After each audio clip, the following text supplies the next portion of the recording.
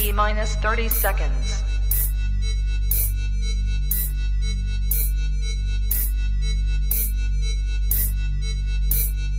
T minus 20 seconds.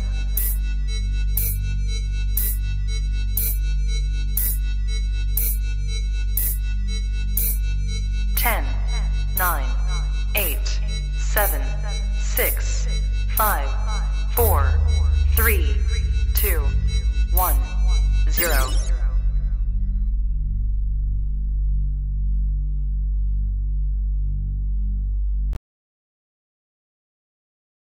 Good. You ready for do do more in the future? Trap Yes. Talk podcasts? Yes. Man, Only, only Trap Talk, exclusive. Yes, exclusive. exclusive. Oh, So stop calling us. Rub the spot, get the club to pop. When I come up with the crop, gotta love it, love it or not. I'm hot from the hop to the rub the spot, get the club to pop. When I come up with the rub the spot, get the club to pop. When I come up with the rub the spot, get the club to pop.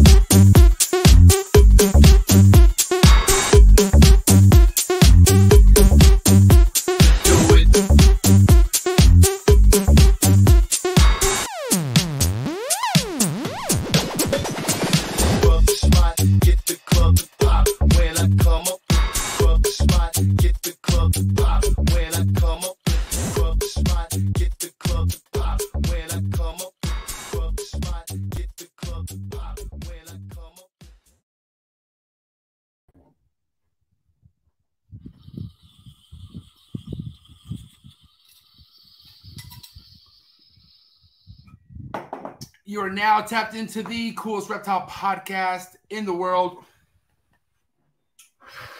I am your boy MJ. What is good, everybody? Happy Sunday. If this is your first time tapping in, do your boy a favor. Hit that subscribe button, hit that notification bell. That way you're on top of every single every single podcast that I drop here on the Trap Talk with MJ podcast YouTube channel.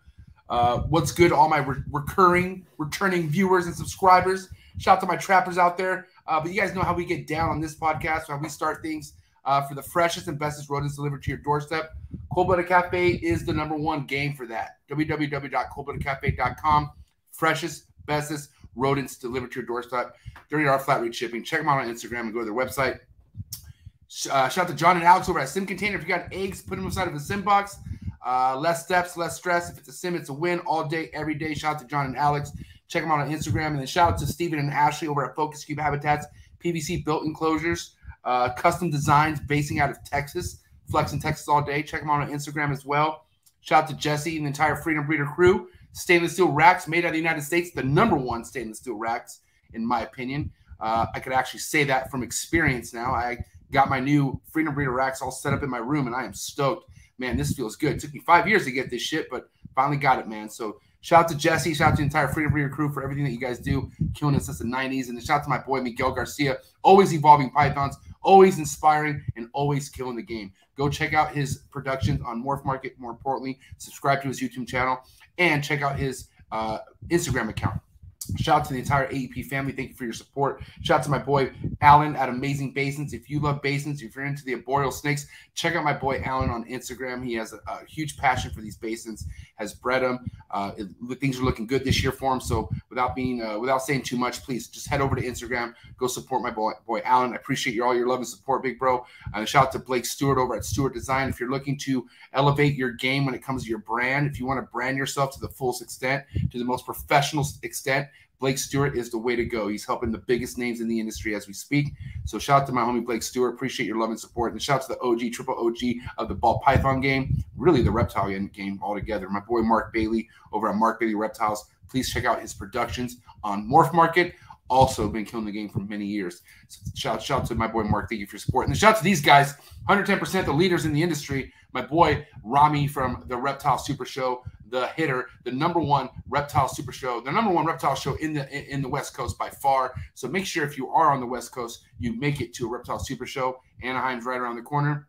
And I cannot wait to see you guys there. And then also shout out to uh, NARBC, uh, Bob Ashley, Brian Potter. Uh, those guys been killing it, bringing the Super Bowl reptile shows to you.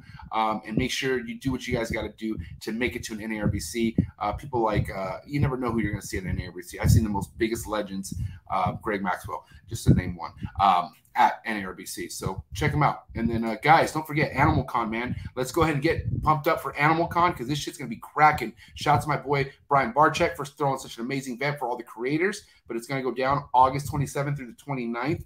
Make sure you head over to animalconusa.com and get your tickets. Let's go. I'm rolling there. I'm going to be in the building with Snake Master Exotics, uh, Ari, Ellie, Max of Boreals. There's going to be some heavy hitters with me at Animal Con. So let's roll up and let's meet up. It's going to be a good time. Shout out to Phil Goss and everyone who supports US Ark. This is not a game. This is not a fucking gimmick. We should all be supporting USARK. Let's all come together and help Phil fight for our animal rights our animal rights, not an individual thing. This is a together thing, okay? So if you support USARK, I appreciate you. If you don't know what USARK is, head down to the link below, click on the USARK link, become a member, and read up on it. Also become a, a YouTube subscriber to the USARK YouTube channel as well.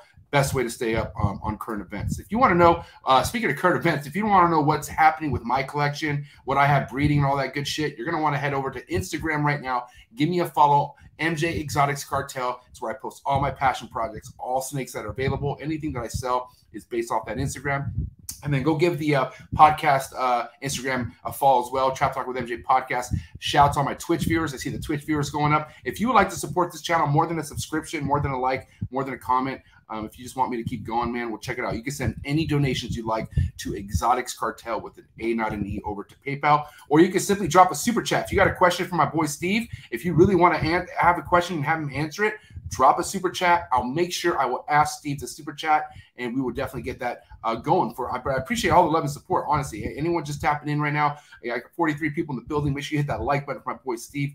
And uh, man, it's gonna be an awesome time. And I will say, last but not least, shout out to my Patreon members. My Patreon members are my heart. It's my family. We are growing. If you want to get more out of the reptile uh, game, if you want to get more out of this podcast, you want to tap in and get more into what I have going on then you're going to want to go down to the link below and join the Trap Talk Patreon family. Come fuck with us. Come join the Discord. Uh, we have we get together every Sundays. I will be planning special guest appearances for these Sunday Zoom sessions that I have every Sunday with my with my family members. So if you want to tap in with us after this podcast, right after this podcast, Trap Talk Zoom session going down. The link is inside the Patreon page. So make sure you go down, head down, join the Patreon today, and come fuck with us after the show. And I cannot wait to tap in with all my trappers. Shout out to you guys. Shout out to my supporters, man. But who's here? Who's ready for this episode? My boy Steve Angeli, because I've been waiting for this episode for a while, over two years in the making. Who's here right now? Oh, hold on, time out. Before I finish, I want to say my little brother, my homie Lucas, Cobra Keeper Jr., just graduated high school. My man is not a little man anymore.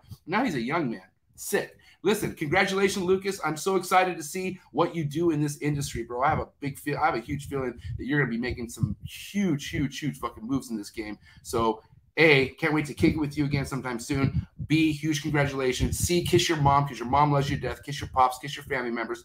But yeah, man, happy uh, graduation. And uh, yeah, man, cannot wait to hang out with you. Mom, can I? Does that mean we get to smoke all the time? Oh, we were smoking together anyways. It doesn't. So, anyways, I'll see you soon, Lucas. Congratulations, and everyone, head over to Instagram. Falls Cobra Keeper Jr. Follow my boy Lucas and congratulate him on congratulate him on uh, graduating high school. That's shit sick. All right, what is good? Who's in the building? K Exotics. Woo woo! Super excited for the episode. So am I. Julio Fulio, what is good? Thanks for tapping in. Julio's a Trap Talk Patreon family member all day, every day. The homegirl Lily, what is good? Trap Talk family member all day, every day. The homie Mark Anderson, what is good? Is that a camel? Fuck, that's a camel. Trap Talk Patreon family member all day, every day. The homegirl Chantel, what is good? Trap Talk Patreon family member. Team Zoo Dreams in the building. Uh, the homie Jason Holbrook, Team Zoo Dreams all day, every day. It's my boy Barbara J. Give him a follow on Instagram. Big homie Mike, 1776 Exotics, one of my day one Patreon members for sure. Day one homie. Give him a follow on Instagram right now. He has mad things in the works. Ball pythons, chondros. That's my dog. Thank you so much, Mike. I appreciate all your love and support. What is good, aka the Panda? I hope I said that right. Look, Panda in the building. Uh, Royal Bama Reptiles. What is good? Trap Talk Patreon family member all day, every day. Eric S'more Factory. What is good? The homie Josh Scale Fids and Feathers. Yeah, I'm looking forward to this one too, my man. Uh, Sunshine State and Sulphurs, what is good? Thanks for tapping in the homie Rudy 420. Anyone knows what's yeah, come on, bro. We're about to smoke tough. You know how we do. Uh, the homie Calvin, uh, your comment was unnecessary, but I love you. Thank you for being here. Burning Heart Exotics, what is good? By the way, Calvin's a big time Trap Talk family member all day. Head of security. Don't fuck with me. That's my boy. Uh, Burning Heart Exotics, Trap Talk family member all day, every day. Thanks for tapping in. The homie Austin Anderson, OG homie in the building. What is good? The homie Hissy Fits, Reptiles in the building. Trap Talk family member all day, every day. Welcome back to the Patreon family. Appreciate having you back. Josh Fenelon, my boy right there. Josh in the building. Thanks for tapping in. Living Oddities. Goddamn, did you change your name? Patrick Rose changed his name. Living Oddities, Oddities TV. Whatever. We need to talk about that. What is good? Sound Serpents. What is good? The homie Sean in the building. Thanks for tapping in. Uh, let's see. Unique Muted Morphs. What is good? Another guy who changed his names. What do you know? And we're going to end it with my boy, Dom. Actually, hold on. What's up, Dom? Thanks for hanging out. Appreciate. We're gonna end with my wife right here. My wife in the building. What is good to my wife? Thank you, babe. You know, I know we're talking about venomous stuff. So safety first, right? That's what we're gonna get into tonight. So we're gonna end it with my wife because if it's anything, this guest rides or die for his wife as well, which why I love this guy so much. But either way, I want to just say I've been looking to bring this guy on all the way back since I had Unfiltered Reptiles podcast. This guy, this is a guy that me and Forrest wanted to bring on. Okay, so this is like this goes way deeper than a lot of you guys think.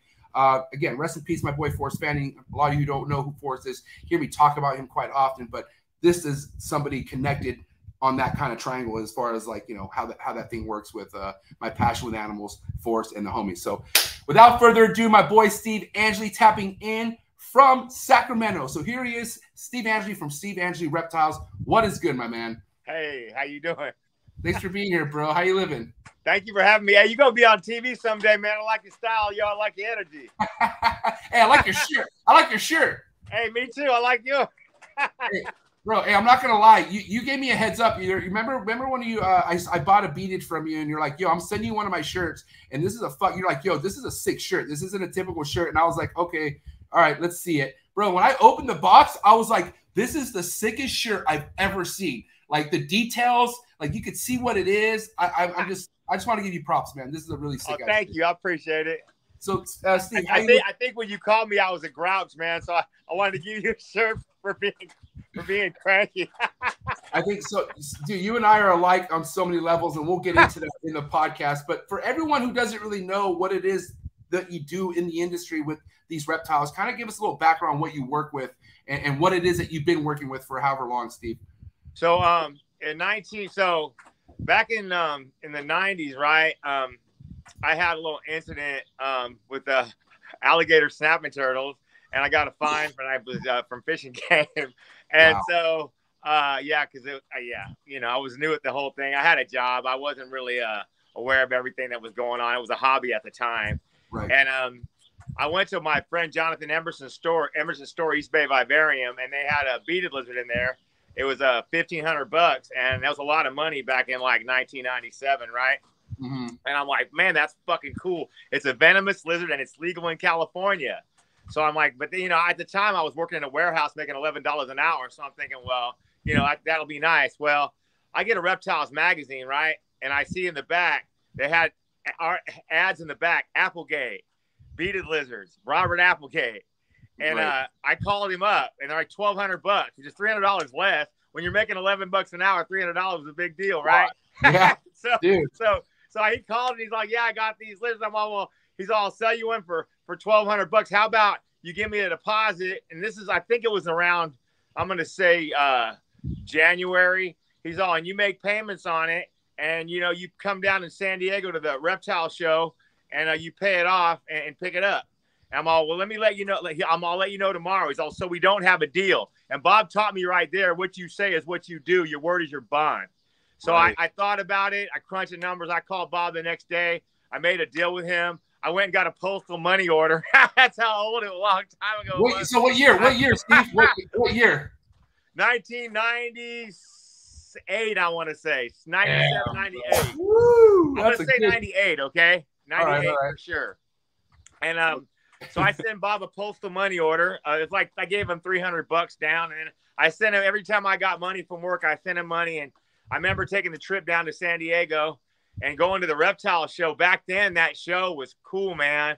They had all kinds of cool shit. It was the first year Caiman lizards came in and everything. Anyway, so and I went to Bob's house, and he put the first beaded lizard in my hand, and it, it had a hold of my shirt. He's all, I'm all, I got it. And I was, I never held a venomous lizard, so I didn't know, right? And Bob's like, Right. it's got you, and took it out of my hand anyway. But I took it home, and um, and my, and I, you know, of course, I was obsessed with this thing, and so I'm gonna say this: if you have a desire in your heart for something good, man, God put it there, and He's gonna give you a path to get it. If you follow your heart, your passion, man, it, it- it's gonna come true if you put the work. Period. Period. And- You- it's up you. It's up to you to take that road, though. It's even though it's scary, exactly and and sometimes you gotta sometimes the, the the path is egregious and hard. If something's got value it's hard. I have a spiritual advisor sometimes i'm like it's hard. He's like stop saying that. Of course it's hard. Yeah, it's Stop supposed to be hard. that. It's supposed to be hard. You, you everything want, that has you should- value is difficult right? So my goal was to have 2.4 beaded lizards right? Right. and then and then so anyway i started i got a second job in the late 90s and i funneled all that money into beaded lizards. I also my friend chris ryman who was then called gila ranch um, was local and i bought a bunch of his be- very nice beaded lizards from chris too. And um and uh shit man i started breeding them and uh i think i got 11 eggs in 2000 and i had one of those incubators that has an ongoing fan and it dried my eggs out. They all died Oh, if you're breeding Heloderma, the fan can't be constant. It's got to go on when the heat goes on and shut off when the heat shuts off. Wow. You understand what I'm saying? Yeah, yeah. So anyway, I learned that lesson, and um, I built my own incubator the following year, which was 2001, and um, I I think 2001, yeah, and I produced two babies, but the temperature was low, so I had some deformity tail kinks. One of them had an egg sac. I had to sew it up, but they both two survived. The Mhm. following year, I produced 10. I had some tail kinks. I still had the temperature too low. I learned that the incu- the thermostat temperature is not your egg temperature, and I learned that that year. So now I start I start temp gunning my eggs. So for Helodermatid lizards, you want your te- egg temperature, not your incubation incubator temperature. You want your actual egg temperature between 80 and 84 degrees. Optimum is like 81.5 degrees. At that temperature, Heloderma horridum and Heloderma exasperatum will hatch in approximately 180 days. Okay? Okay. Heloderma alvarezi will hatch in approximately 155 days. Heloderma suspectum will hatch at that temperature and that same temperature in approximately 135 days. Wow. Okay, so let's let's take things back here. The the first species of beaded that you bought from Bob Applegate, shout shout out to Bob Applegate's legend. But who, what, what kind of species did you start start off with? What, what It was exasperatum. Okay, perfect. Yeah. And, and and and just to be just to clarify, exas- exasperatums are the biggest out of all the species, or no? No, no, not at all. So what I found, okay, there's races. So so they're classified in four four it was four subspecies. It was Heloderma horridum, horridum, Heloderma horridum, exasperatum, Heloderma horridum, alvarezi, Heloderma horridum, Charles Bogardi. Now now they I'm, I'm not sure Fish and Wildlife looks at it still as a subspecies, so I don't know if it's been changed. But the scientific community in 2010, Daniel Beck and um, all his colleagues did a whole bunch of DNA work, and I and so also uh, the Gila monster was broken into two clades: Heloderma suspectum, suspectum, Heloderma suspectum cinctum. And I was I've always I was saying before this this thing came out because I got my permit in 2008 that um it's the same animal. Well, they came back and they said all four beaded lizards are so genetically diverse they're their own species. So there's four different species of beaded lizard now. And, the- and and Gila monsters are only one species. They're the same species. Only sus- suspectum. There's no cinctum. It's a false subspecies. So anyway, um, but yeah, I started out with the Rio Fuerte beaded lizard about size. It depends on the population. I've seen exasperatum that are huge and enormous. I have some here that are, I got some that are probably 36 inches. I have a southern horridum that was born in 2001 that is probably pushing 39 inches now. okay. But he is also that animal. That horridum is a descendant of Bob Applegate's Fernando, who's who now is uh, owned by Chad Brown, and I think he's probably 41, 42 inches. And he's uh he's at least he uh, Fernando was captured as a young adult in like 1968. So I'm gonna guess he's close to 60 years old. Oh my God, that's that's that's impressive. I love that. Yeah, yeah. So Yeah. go ahead. I was kept talking. I, hey, I'd like to talk. I like to hear the sound of my own voice. You're good, Steve. So do we. You're good. You're in a good place. Uh, okay. go ahead. So going back to you breeding your first clutch in 2000, right? At that point, how big was your group? How many beadeds? Where were you at at that point in 2000? I think I only had about in 2000. I had the two babies I had gotten because Bob sold me. Um, Bob sold me uh, two babies in 90. I'm gonna say 98, and um, but he only had three babies. One of them died, and I gave him a deposit, and he um he sold uh one to somebody else, and so he gave me a yearling female um, that he had, was holding back. He gave me that instead, which was really nice of him. And I've all I learned that from him too, man. If somebody puts a deposit, you give them something else. You better, if you can, you know what I mean. Bob was always straight like that. Let me tell. I want to give you kudos real quick. I mean, I, I want to let people know how, how what kind of guy you are from what I know. But what kind of sparked us even talking was Stephen Cush had no idea that Forrest had prepaid you for a baby before he passed away. And I mean, you you out of your heart just like, hey, I mean, he even though you know he was you know gone or whatever. I mean, you didn't have to fucking speak up and be like, here, make sure you take the baby. But I mean, you took care of that. You know what I mean? And and uh, you know, I thought that was awesome of you. Well, thank you, man. But hey, there was a carpenter man a long time ago. He tried to tell all of us how to live, right? Right. so I mean, to go to go back, Steve. You know, you know, one thing that you kind of t- talked to me in the beginning is like the the cleanly, like how I, I mean, it being clean with these babies is super important, right? Like um, cleanliness and whatnot. I mean, what was your trial and error like when you were first hatching these? I mean, did you have most success more than failure? Were you getting a lot of failures? What was happening with you learning the learning how to hatch these out? So, um, you know, if they hatch out healthy, they're pretty bulletproof. Um, like the first two I had, one of them had an umbilicus sticking out. I had to tie it off. Um, I, I Dr. Seward, uh, I called Dr. Seward at the time. He's like, use a dental floss and, and tie it off and then Right. cut it. And Right. that's what I did. And Right. it lived. But that when that happens, about 50 50, 50% that it'll survive. And Mhm. um and I think the man upstairs let it survive because I was so like it was my first two babies. I mean, I had been trying for you know what I mean? It was a big deal for me, right? Right. yeah. And um anyway, and so um but if they hatch healthy, they're pretty bulletproof. Um I'm so concerned now because I have so many animals now, right? So I separate my babies and I make sure I spray everything with um I use that rescue and use paper towels and I, I used to use water bowls and clean them, but now I buy deli cups eight ounce deli cups. I buy them from the restaurant supply place and I throw them away, man. I use them and toss them. You know I mean? When you when when you do the water changes, everything gets new. Like you Toss them, okay. throw them away, right? Right. And I, I keep all my new my babies in a separate room because adults, you know, a lot of times I have, geez, I mean, I, I haven't got the whole count, but I have close to 50 Gila monsters, and I have um shit, I got I got about 15 pairs of adult exasperatum. I have like five pairs of adult horridum. I have um we have I'm I there's no there's no there's no I we me and my my wife. Uh, what's your, Yeah, what's your, we have um what's your I- wife's we name? have uh let's see um Steve, what's your wife's name? Krista. Krista. Shout out to Krista. I just want to say shout out to the wife, Krista. I Thank was- you. I Shout out to your wife too, man. Hey, uh, a wise man put his wife first because your wife's your best friend, and ain't nobody in this whole world will go to the lengths that she will for you. You bet people better know that. If you're gonna be nice to anybody, you better be nice to her. 100%. Oh my but yeah, no, um, yeah. So, um, what was I? What were, what were we talking about again? Uh, the uh, fuck. Ra- raising babies, Yeah, we were just talking about the um. God damn it, my mind went blank. keeping them clean and everything. So, Right, um, right.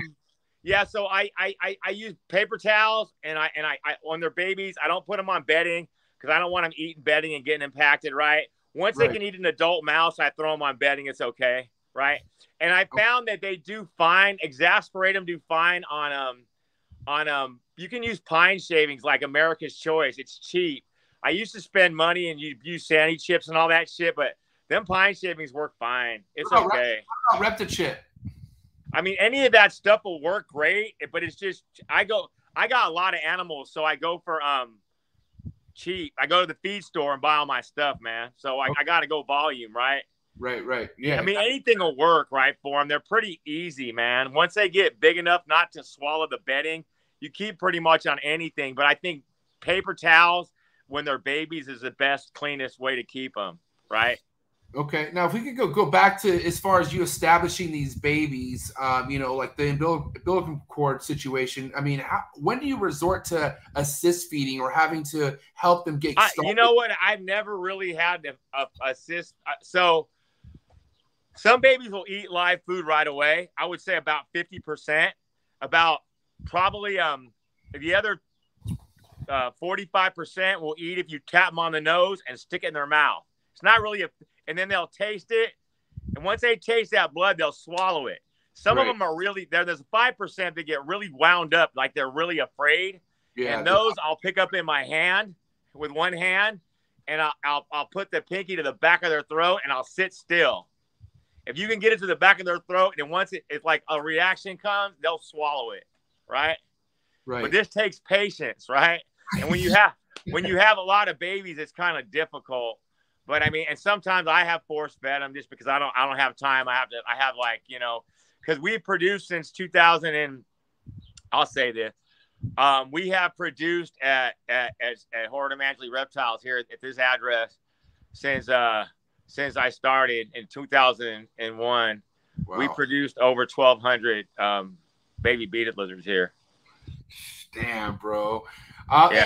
and, and, and we will get into as far as like you know throughout the the whole sense of this this career of yours with breeding. You know, as far as like what was the peak? I feel like I mean, but before we get into that, I'm just curious. Um, you know, a lot of people are trying to wrap around their heads or you know, uh, if anything, a lot of people always talk about what's right as far as the enclosure for a species like this. And if we could talk about what you recommend from a baby all the way throughout to an adulthood as far as enclosure size. I mean, what, what's your what's your take on that?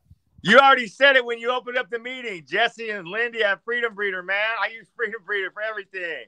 I got Freedom Breeder rack, baby rack. Got Freedom Breeder uh, uh, um, tubs. I keep I, I, breed all my animals in, in Freedom Breeders because I have vol- I have a lot of animals. Yeah, I didn't even finish. I also have me and my my, my good brother. Shout out to John Heidecker out in Florida. Uh, nice. Me and John uh, pooled our money together and and, and imported uh we imported uh, Alvarezi from Mexico with CITES, the first ones ever to be imported in the United States. Oh my! And um, out of that group, um, we have right now still we have um uh 5.4 adults, so um, we're working with right now. And I found they're more difficult to breed. Um, we've produced since 2016 when I got my first import. We produced four the first year, 21 the second year, 20 the third year, and I thought, man, I'm going to produce 40 of these things, man. Then I got eight, eight last year, and I got all my eggs went bad this year, and I lost one of my females gravid, and uh, yeah, so um, they've been a little tricky, but I think still, I think I produced 53 of them if my count's right since 2016, and I think that's probably more than anywhere else. You know, it's my passion, but it was uh, I wanted those lizards since I started a long time ago. I mean, I'm not, I'm not gonna lie, bro. Like I'm obsessed and with the quality of your ex- exasperatums, you know, and the other species. But the Alvarez Alvarezi is one of my dream, hands down, dream beaded lizard species. Like I need to have that at some point. It was my dream, bro. I mean, we and, and it's like I had stocks when, when so I I had met this guy, man, a friend of mine in Mexico, and he called me out of the blue, man, in about 2000, and he's like, "Hey, I got these, I got I got these Alvarez, I got CITES." he's all I was supposed to sell him to a guy in Europe, but he got sick. He couldn't pay for him. Are you interested? And I'm like, well, I mean, uh, yeah, I'm. I don't want a bunch of males, right? right. So he basically, um, he's all saying, uh, I'm like, can you give me some ultrasounds? He sends me ultrasounds like, I don't know, two weeks later. I don't know what the fuck I'm looking at. So I'm so excited. I'm like, yeah, we'll do it. And I had some stocks. I called my mom. I'm like, can I sell the stocks you gave me when I was a kid? My mom's like, yeah, for those lizards, do it. She's like, yeah, you can do it. And John, my friend John Heidecker in Florida, like one of the the one of the probably greatest radiated tortoise breeders. He's also uh, um, an owner of 3J's uh, uh, Turtle and Tortoise Sanctuary down in Miami with um, um, his two other brothers, and um, and John's like a, a, a, one like like family to me. And me and John pulled our money together, man, and we uh we we went in and, and we imported those lizards. Uh, and five imports we got with CITES on them I sent some of them over to Europe. I sold a few here, and the rest we kept. So. That's what's up. Now you you mentioned how the Alvarezi is is a little more difficult than the other species, but all- altogether, what's your approach when it came to breeding these? Like, I mean, and, and, and what do you recommend? Like, you know, you can you just get away with a pair, or does it does it take more than that? I, so, uh, eh, so in my experience, if you want to breed helodermatid lizards, you need multiple pairs. I would say. I mean, now can you ha- get can you get a pair and get a good pair and get lucky? Sure, man, absolutely. But I mean, it's a numbers game, man. You know what I mean? Because also, especially with suspectum and with the Alvarez Alvarezi, all animals are like people, man. Every girl don't like every boy. They Right. don't, and vice Right. versa. Yep. Some of them don't like each other.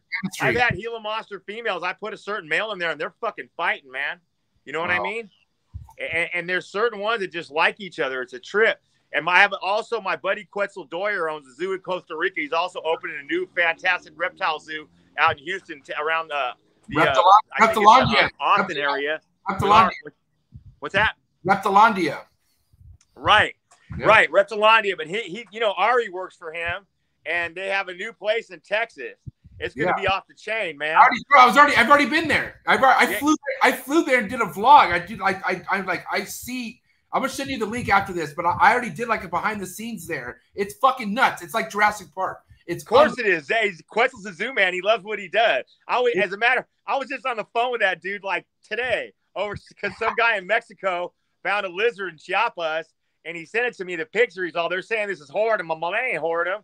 And he's like, oh, and I, he, I think it's charlesbogerti. I do. And, and also about that, that whole 200 in the wild is bullshit.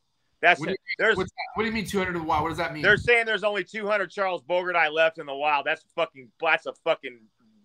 There's. I would say there's 20, 20 times more than that. And and I'm not saying they're not rare. They're rare, but I mean they live in a jungle where animals are are are seldomly out of shelters and stuff like that. I mean, a lot of people found, and there's a whole um. There's a company down there that Quetzal knows of, a, a, a concrete company that, that's on that owns half the land they're on and he allowed Quetzal to go in there, and he said they they found quite a few of them. You know what I mean? What- what- Yeah. I, So anyway, I'm curious because you know I, I'm, I'm a big fan of Quetzal, man. So when, when did you when did you cross paths with Quetzal so I saw I saw I saw, I sent Quetzal some exasperatum back in fucking I don't know, dude, 2003, an adult pair, and uh, it was really hard to get the CITES, man. It took forever, man. And I, he gave me a deposit, and I, I went through and I got him just lizards, and he loved me for that, right? So Quetzal got Alvarezi first, and he bred one baby, and he told me as soon as I get any for sale, I'll say I'll, I'll, you're first, man. And uh, we became friends, and um, it, he told me they're different and they're hard to breed, and I didn't believe it until I got them. but I just, you know, he bred a couple more also. Uh, like about seven years later, the one baby ended up being a female. So I guess the mother had died, got egg bound and died. And Wow. um, yeah, so we uh, shared information and, and we've just been friends ever since, man. That's And um, yeah, yeah, and uh, um, he's the one that you know basically told me they're different, and he also told me to check the temperatures and um, and Nenton, Guatemala is the closest to where they live at. And when I got the animals I had, I basically tried to mimic the temperatures there, you know, because um, and they're breeding, you know, the regular uh, and their cooling period, they, you know, the temperature goes in the 50s at night, but it warms up to about 75 to, to 80 in the daytime. So that's what I did. I, I put them in my cold room. It's that's basically um, that's um, you know, 55 degrees, and I, I let them get down to that at night, and I and I I turned I put a timer on and I heated them to 75 in the daytime, and it worked. You know what I mean? yeah. So um, I'm starting to think though this year, this year I took them out a little later, and I let I, I started doing it like that, but I didn't do so good last year, so I just left them down around 60 degrees for about a month and a half. So we'll see how that does this year. If we they can take them cooler temperatures. It's fine. I mean, if you don't bring them down below 60, they're they're fine.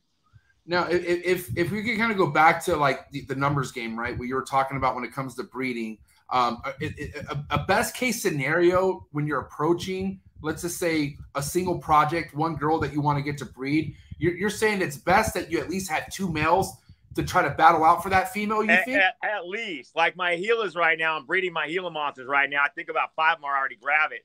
but I I match the colors with what I want. But I also but I have multiple animals, so I can put this with this to try to get what I want. Yeah, you know I mean, right. You know Yeah. what I mean? Yeah, yeah, hundred percent. Yeah, but you definitely need for Gila monsters, especially when you put another male. When you switch males in cages, they can smell that male, and they start huffing and puffing. And and I mean, if you're not careful, they'll latch on. Sometimes they, if they get too wound up, they'll latch onto your female. You got to watch them. You know what I mean? Um, the beaded lizards will start wrestling. They'll wrestle. They won't hurt each other right away. It's a lot easier. So basically, the female is already in there, and you just drop two males in there. Basically, is all you do. No, I don't. No, I, I have I pair them up, and then around this time for me for Gila for so, so I'm talking about Gila monsters now. So Gila monsters generally breed in um, April May, right? So I put them all together the first of May, and about the middle of the month or about about first week of May, I start rotating the males. So I would take so I got two pair I got two pairs. I would switch the males, switch them. Just switch the cages. They could smell the other male in the cage. I got them all in a freedom breeder rack all together. So they're like Right. right, next to each other. You understand what I'm saying? Yep. Yep. Now, I mean, look at this. I'm checking. Can you see the video here that we're looking at? Yeah, I see it. So you, this is you have a. I mean, this is the kind of scenario you're talking about. I mean, like it looks like you have four beateds in here. Do you know? Do you I know do. kind of I have two, what- yeah, what's the ratio pairs of here? Alvarezi in there. So the Alvarezi, they don't fight as much, man. Mine don't. I've seen them fight in the wild from videos, but mine don't. They tolerate each other. So um, I I would put them I would put them in groups at uh, uh, two point two, and I would rotate the males every couple days, and they're in a group right there. So all you're doing is it's 2.2, and then every so often you put the other two males in the other. You just split, you swap. Exactly. But now this is different. This is different species now, Mike. Okay, so with with exasperatum, you can't do that. They'll start fighting, and they'll start. Okay. And same with horridum, they'll start wrestling hard, man. And but what I'll do, like, so exasperatum start to breed about right now into June, right? So I start rotating my males. If I see one lock, I'll start throwing two males together. I'll let them wrestle, man. I'll watch them wrestle. They'll roll up into a bow and they'll fight, and I'll let them go for about nah, maybe two or three minutes till it starts getting too rough. And then I'll separate the males and I'll put one in one cage, and they'll like three females right away, dude. Wow. And how? I mean, I mean, I, you know, you say about two, three minutes, but can they really fuck each other up if you don't stop They it? Like, if can, you but the beaded lizards will wrestle before they start biting. Suspectum, a Okay. Gila monster will tear each other limb from limb. You can't do that. You can't. Now you can't. Like Dr. Stewart used to tape up their mouths and do it, but I don't think I found. I don't think it's that necessary. I think if you just put them in the same cage, they start huffing and puffing. You can tell. They get in another cage, they can smell that male. I mean, they don't even like me messing with them. You know what I mean? So, like, Right. like I'm saying, when I'm talking to you, all these species are different. right. Can is different than um Right. Alvarezi is different than exasperatum and horridum. Suspectum's totally different. It's Okay. Right. If we want to talk about exasperate exasperatum, I let them wrestle horridum too. Horridum and exasperatum breeding cycles, egg incubation, the way I breed them, the wrestle them, same. I do the same thing. Right. Now, with the if we could talk about the exasperatum real quick, um, you know, eh, eh, when it comes to you separating them, like you know, after it's done, and you're like, all right, this has been enough. I mean, is it pretty easy to separate them, like just to pull them apart, or or Yeah, or- I, I do that, man. I've never really been. I've been. I've been bit by an adult beaded lizard. Like I've been bit by babies a lot because I used to when, when I was new at this. I was so excited, like a spaz, bro. I try to pick them out when they were hatched. I get bit all the time, dude. oh my, how- See, I don't do that anymore. Now I let the whole clutch hatch. And you you see me open those boxes on on on. I just let them all hatch and I pull them out. It's fine. You know I I mean? fucking love it, bro. I love, I love, I love seeing you open up those boxes and all those babies. Yeah. Yeah, I used to pick them all out though. I get bit a lot doing that, so I quit doing that. You know So what I if mean? if we could kind of walk through this process, like you know, as far as like when do you feel like the the female doesn't need to be locked anymore? Like when, when do you feel like the job's actually like on its way? Do you wait for her to You, ovulate? you, you, you, I wait. You can tell. They're they they show. Um, they have a um they have a hip bone in the back, the back of their tail, their girdle, where their their back legs are. There's a Right. hip bone right there. Okay, and um when that when they get gravid, it'll start to shrink. The tail will start to shrink. That hip bone will start to show. Then I put them in an egg box. I made a um I made a, a- a- egg incubation rack, or excuse me, a lay box out of a I, I built it out of plywood and I I, I coated it in uh, fiberglass and I um I put um I use those big cement tubs from Home Depot and I drill holes in them for air and I Right. stick the females in there with 20% peat moss or excuse me 80% peat moss 20% sand and I make it moist not wet and I put the females in there when I know they're gravid I separate them and put a water bowl in there because I found I used to put an egg box in the cage and they lay all over the cage so I figured I'd just make the whole cage an egg box so that's what I did Wow. Okay. And, and that's and that's out of that big cement cement tote that you're talking about. Right? Yeah, I made that myself. Okay. Yep, years Awesome. ago. and, It and- still works. right. I mean, it's it, you got to figure out what works. Obviously, that's, that's how it comes. Like you know, it's one thing that I I I learned that isn't really the ideal thing to do is follow what works for somebody else because you don't know like what your situation is compared to theirs. Like you got to fucking figure that shit out on your own, type of thing. You know. Well, I learned. I, I can't say that I have. So the incubation technique you see in the box, I learned that from Bob Applegate. Okay, but Bob used to just put. So Bob, I use two container method, right? Dr. Seward put it in his in his um in his uh his book. He called it his cryo whatever method. And, and and I'll do respect. I love Doc. He's always been cool and nice. He's my friend. But I mean, Bob had that same incubation technique in his 1980 fucking three corn snake book. You know what I'm saying? and so I asked Bob if he invented that, right? And Bob's like, "Well, I don't know if I invented it. I'm sure someone else has done it before me. I don't know." But Bob, but one thing Doc Seward did that, that um, Bob did not do, um, um, Bob. That's what I'm talking about. The wrestling, yeah, in the video. That's so Um, sick. Bob didn't put. He just put. He put. So he would take two containers, right? And um, the outer container you drill four one eighth inch drill holes in, and you have a lid. It's a sealed container. The inner container is um a little bit smaller, so it fits in. And Bob would put water in the outer container, and then put dry vermiculite or perlite in the inner container and float it in the water. Well, Doc Seward would put um perlite in the water, and that's what he did. And I that works better, and because Doc's a pretty smart guy, he's all if you put the perlite, it's got more surface area for moisture. Because see, Heloderma eggs are very sensitive. Gila monster even worse than beaded lizard, but they're all very sensitive. So the whole the key is to have about 95% humidity in your chamber, but the eggs stay dry to your touch. Right, the the, the bedding's dry. It's just humid, right? So um so Bob's I used Bob's method, and then Doc Seward told me put the perlite inside the um water, which I do, and I use those containers you saw. You can buy them at they're expensive. They're those sterilite containers, the octagon. I buy the bigger one. It's like a freezer container. And then I buy a smaller one and I throw the lid away and I make it like that. It works great.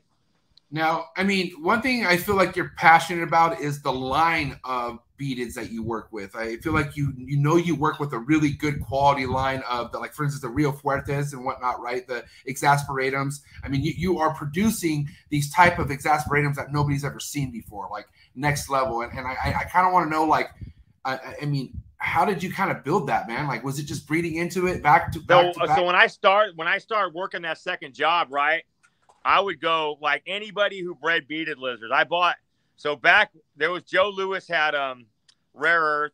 He bred them. I, I gave I got his best male, but I got a baby from out my best. There was a guy named Chuck in um Wisconsin. He had a place called Saving Grace Reptiles. I spent like two grand on babies from him, twenty five hundred on one actually. And um anybody who bred them, I sent Chris Ryman Gila Ranch. I would buy his best shit. I would I would some anybody who was breeding beaded lizards, I would send them a deposit and get first pick of their babies. That's how I started. Okay. wow. And by 2005, I produced 92 babies between exasperatum and horridum. That was my and that and that was my personal best until 2000. And then so between 2005 and last year, last year I produced over a hundred. I don't know the exact count, but I had I had like 75 exasperatum or eight- se- 78 exasperatum and about over 30 horridum. And I had almost 30 uh, suspectum too, also. But I didn't get any Alvarezi last year, none, zero. So, so Right. this year, I mean, I'm talking about this year. Um, Right. But before that, 2017, I got 92. I would say between 2005 and now, I, my average is about 75 babies. It would be between 65 and and 92 babies. 92 twice, and then I would get 80 something. But average was about 75 babies probably from 2005 till now. every year. And, and and just like anything else, right? I mean, every different species has a different price tag on it. You know, like um, you know, you mentioned how you were selling exact. You you bought your first exasperatum for twelve hundred bucks in in '96 or in the '90s or something like that. Ninety eight, yeah, yes, Yeah. sir. Now, a- and to this day, you sell your ex- uh, exasperators around what price? What what's your average baby going for? So I, I so I graded them just like the Horridum Super Black. I created that term. I got some Southern Horridum from Chris Ryman and Right. from other places, and um, had they have reduced pattern. I bred them together, and um, I kept the the darkest ones, the least amount of spots. I kept and bred back together. I line bred them. That's how I made Super Black, right? The Uh-huh. exasperatum, I have a lot more of. I bought, I had like nine different lines of exasperatum. I bought them, like I said, from Rare Earth, Joe Lewis. I bought them from this guy, Charles Glued. I bought them from Gila Ranch. I bought them from the Oklahoma City Zoo. I got them from, um, I got them from another zoo too. I, I got them at a zoo in Alabama, I think. I pay, I got them from anybody who bred them. I got them from. And um, what I would do is um, I would I would keep my best babies and breed them together. And now what I, what I have now, I graded them just like I I, I created super black Horn and why I call them ultra Rio Fuerte beaded lizards. I had I had high yellow, then I had super Rio, which is really nice.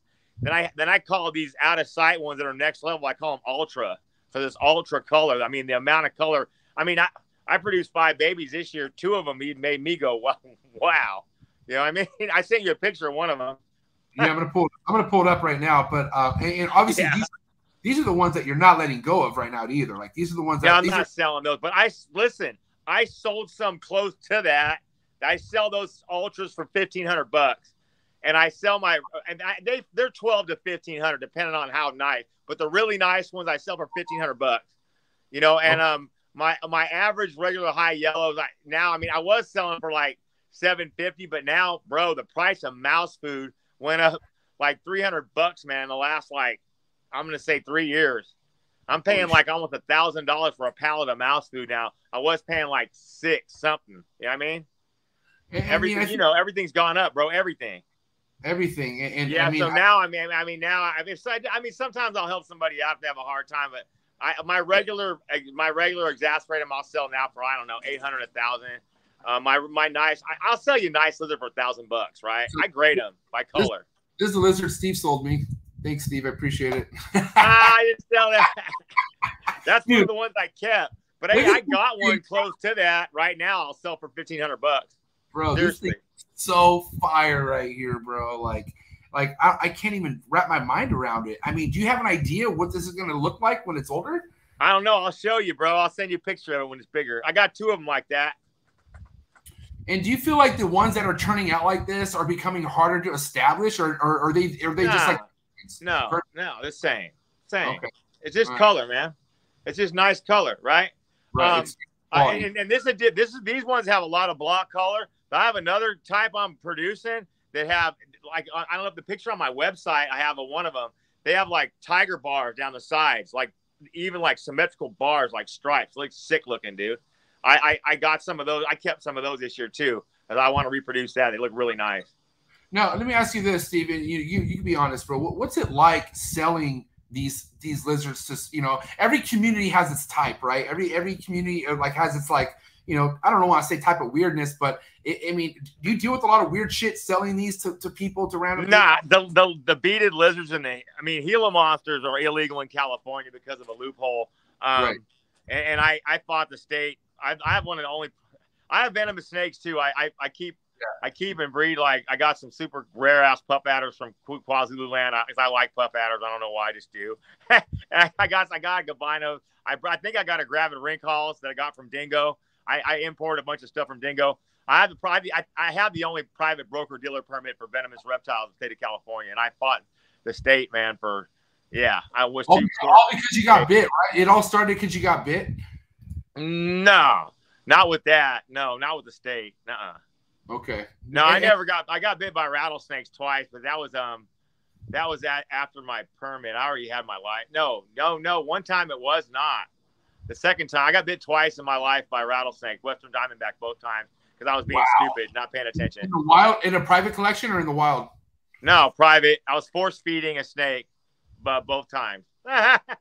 Oh my god, you're gnarly, bro. What the fuck? Yeah. And yeah, I- well, I, when, I, when I force feed anything now, I use gloves. I do use gloves to do it. I don't do it with my I'm bare curious, hand. I'm curious what the reaction was like. You know what? I mean, it's, it's all different, right? But what was it? What was it like when you got bit by a diamondback? I called my buddy and I said, "Hey, bro, I got bit by a rattlesnake. You got to take me to the hospital." you're laughing. And I, hey, I was, hey, so no, it was no joke. At the first time, man, I, I, I called George Van Horn. He's a very good friend of mine, and he said if it's blue, it's purple, and not black, you're probably all right. Because I had no reaction for like an hour. I went to Kaiser and I told him, hey, I got bit, and and I thought, well, I'm fine. And it was like an hour later, and I saw I went to my buddy's house, going to give me a pain pill. It, it hurt a little bit. And then I started throwing up, dude, and, the, and I started having a systemic reaction. I rushed me back to the hospital, and um, they gave they took me. I was two days in the hospital. I lost all my skin. I lost all the skin on. It looked like somebody blowtorched my middle finger, and the very top. I don't know if you can see it. It's a little bit flat. I I lost it. a little bit of tissue there. I don't know. Oh. Can you see it? God, I can see it. Yeah. Yeah, well, that was fucked up, dude. I mean, I was breathing so. I mean, I was throwing up so bad I couldn't hardly breathe. It was no joke, man. Oh And I, I met then I met but I met the top toxicologist for Kaiser Northern California, Steve Offerman, and he's an ER doctor and he's now my buddy. And uh, so I got all these.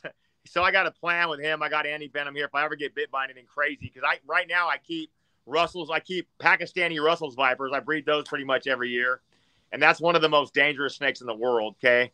Uh, why I still keep them? I mean, because they're easy and they're, they're pretty easy to deal with and everything.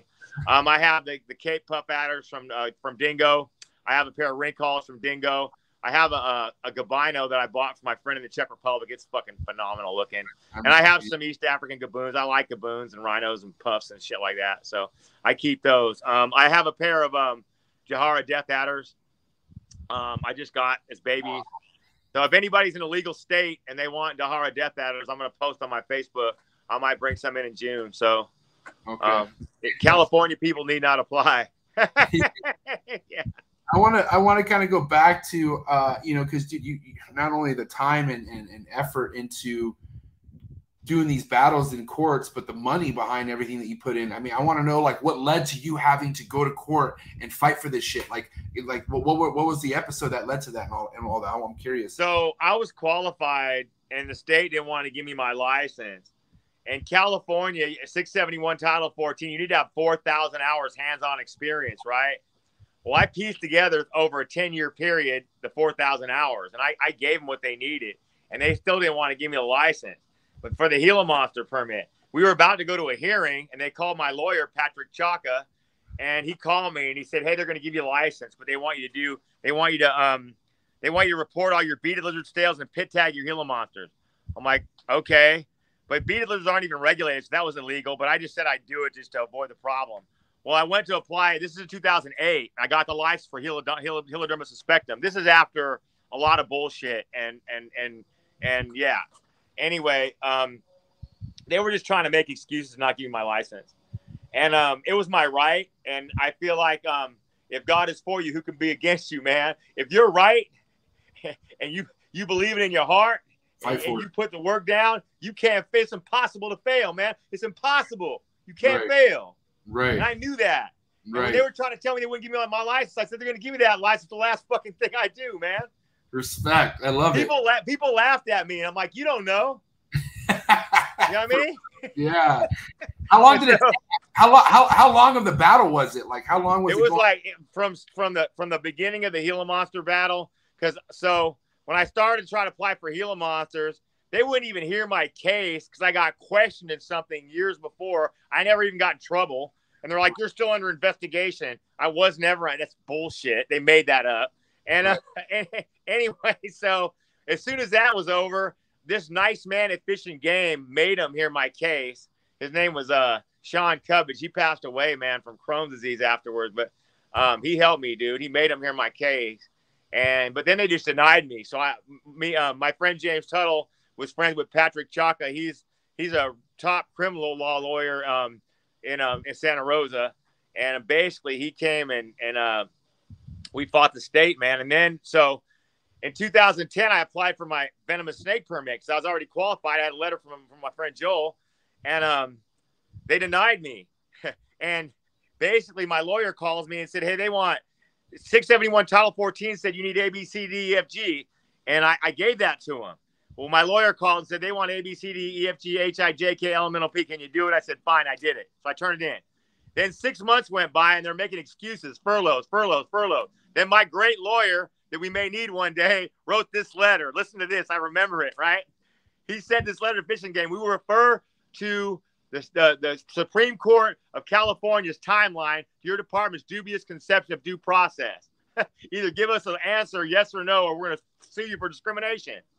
Wow. And they basically told me no. And then I wrote the letter to get the appeal. 10 months later, I heard the appeal, and I told you the story about that. We won the appeal. I've never had a problem since. This is an old regime in Fish and Game, mind you. The regime Fish and Game now today is great. All the game wardens are great with me. They're awesome. So if you're listening, Fish and Game, I love you guys. They've been super nice to me. Seriously. Let's make it No, they clear. have. They've been really good to me. They have given me no problems. The game boards come over do my inspection. They're fucking awesome. That's um, awesome. I love it. Lucy Lopez does my permit. She's awesome. This was the old regime that did this shit to me, right?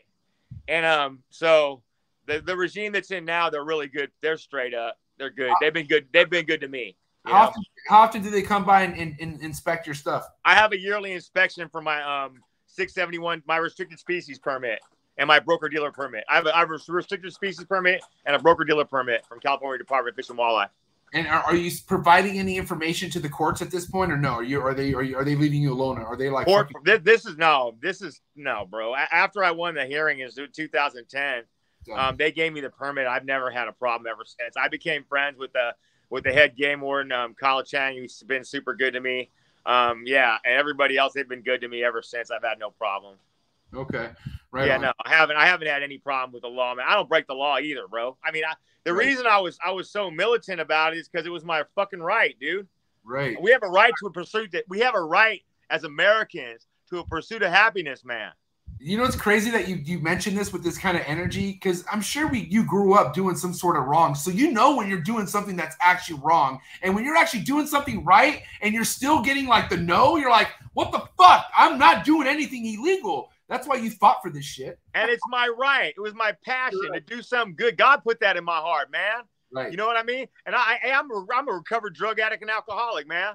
Respect. I'm an active member of Alcoholics Anonymous. I go out and help God's kids on a regular basis, man. That's my number one job. Help. God's kids. and then, hey, I get to make a living selling fucking reptiles. And I make a pretty good living too, man, right? you can't Yeah, complain. you can't lose. I mean, look at you, Michael. You look at you. You got you got I seen your whole get down. You got so much passion, man, for what you're doing, man. It's in Thank your heart. And you're straight up and look at you're thriving, man. Thank you, Steve. I Well, appreciate you that. can't fail. You can't. I ain't You just do the right thing. You treat people with love and respect, man, and everything gonna work out for you. I love it, man. Thank you. And, I want to I want to clarify. You know, back when me and Steve, you know, even though you sold me that beaded, we had conversations. Remember when you helped me get into jujitsu? You know what I mean? Yeah? I do.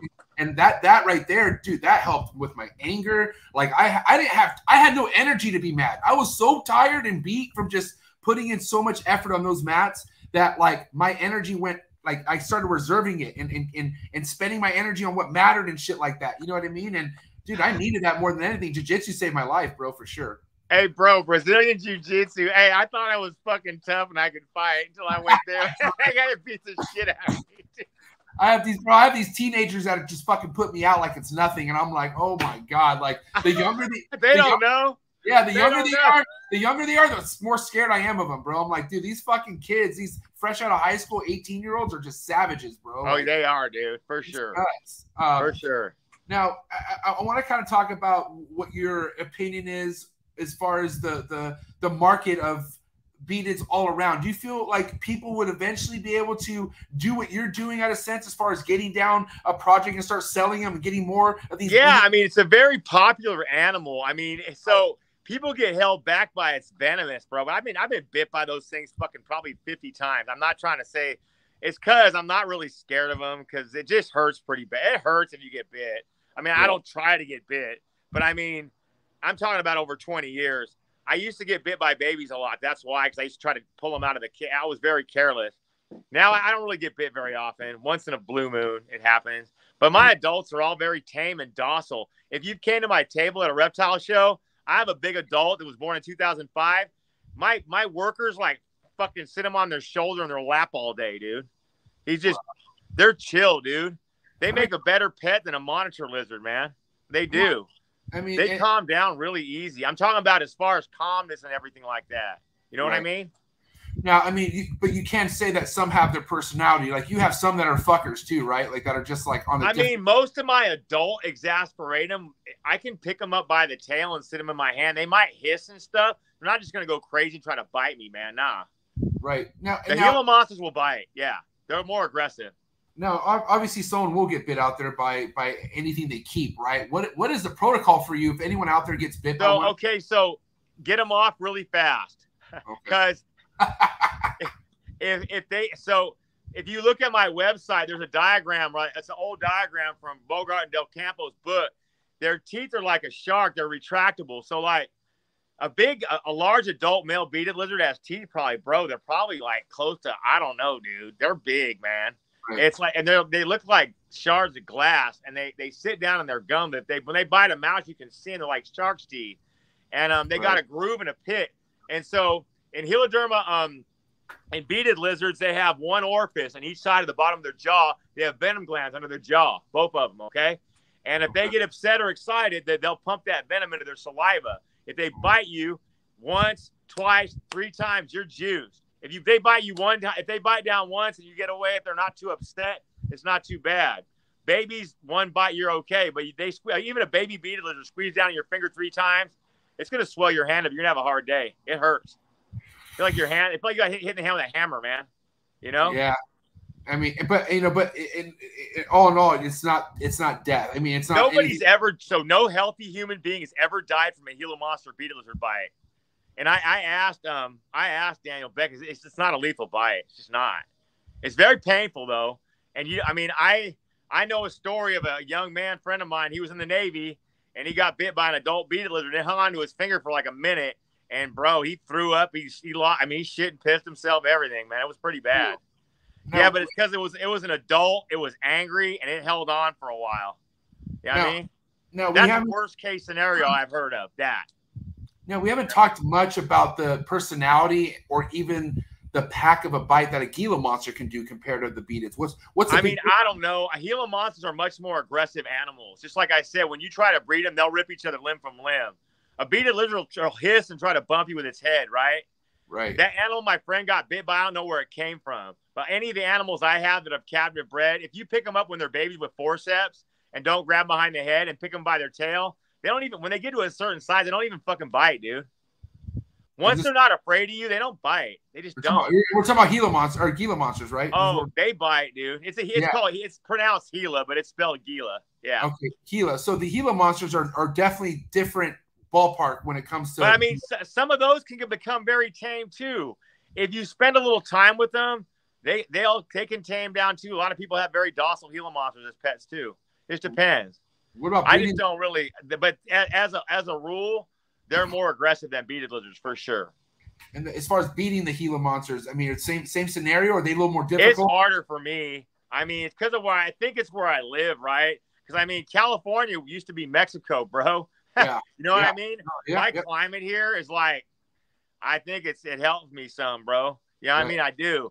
Gila monsters need to get down into I I would say 55 degrees for three months to breed them. To have, I mean, you can breed them at 60, eh, but they got to stay below 60 for like three months. Beaded lizards, if you keep between 60 and 65 for three months, they'll breed anyway. They're pretty. They're more subtropical. They're easier. And, and, and everything everything is seasonal for you, right? Like you were saying before, there's that time period where they're not eating or anything. Is that for that three months, right? Like Right. you don't nothing. Like you're not fucking with them at all, Uh, right? I give them. I do. I check. I give them water. They have a water bowl. I take. So when I have them live, I keep big water dishes like you saw in the video, the Freedom Breeder. Um, in cooling period, I put a small water dish they could drink. I don't want them getting in the water when it's cold. I don't. Right. Okay. And um, if you guys, if, for you guys, if you if you don't have other stuff, I, I usually would cool them down and I would stop feeding them in Thanksgiving, and um, I would bring them down in December, January, February, and um, and I would um, heat them up in March and throw them together, dude. And usually my beaded lizards would breed about May June. My Gila monsters would breed um um in like April, April May. So so you're you're cutting the food off in November, and then you're not offering till about February March. No, till until I bring them out. I don't feed them nothing when they're cooling. Nothing. So not until not until you heat them up again. That's when you feed them. That's it. Nothing. Yep. And, and, and obviously you want to start them off smaller since it's been a while, right? Or Right like- out of cool, Mike. So my worker did that. He fed them big ass meals out of cooling. A bunch of them threw up. I'm like, yeah, dude, you That's can't not good, that. right? No, and- your stomach shrinks when you don't eat. Right. we, we haven't talked about how bad it is for a beat to, to throw up. I mean, It's not good if they puke, man. I mean, once if you if, if they throw up one time, it's fine. You just don't want to feed them again for like ten days. You know what I'm saying? right. And then feed them something really small. You don't want them puking. If it gets chronic, they can die, especially babies. Right. You know what I'm saying? Right.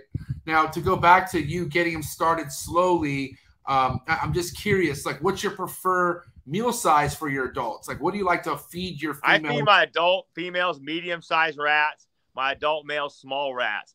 You don't want your males all bloated and fat. I mean, hey, if you go eat like a whole pizza, you don't want to have sex afterwards. Not That's really. what, oh, listen, I my my wife, listen, my wife, I- my wife's hot as shit. I love her to death. But then like, there's times where she's like wants to get frisky after I just ate all this food, and I'm like, babe, I'm not, I don't feel attractive right now. No offense.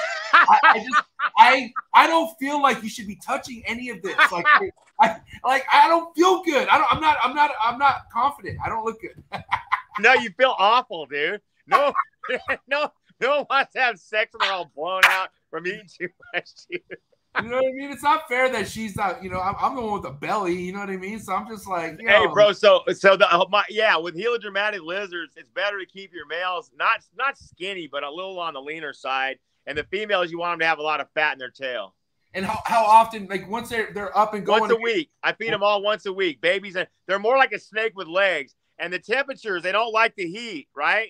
I keep my my um. They're in a room 80 degrees. I have a heat tape in my in my racks. It's it's set at 90. That's it. Okay. How often are they on the 90 side? Do you do you ever see them on the hot Maybe side they'll sit on the tape after they eat. That's it. for digestion? Right. Yeah. Okay. All right. So and that 90 hotspots there 24 seven. Yeah. Okay. So if you if for somebody who has a beaded lizard in a four by two or in an enclosure like that, you still recommend a heat spot of 90 at all at all 24 seven times? No, no. So m- m- the first up until I got, I didn't have money to buy freedom breeders when I started. Man, I made boxes out of plywood. They were two foot by four foot by 20 inches tall with an overhead like a hundred watt ceramic heat emitter. And I u- I made sure I used a pancake box and I used oven cord so that shit didn't melt and start a fire. You know what I'm saying? Yeah. Right.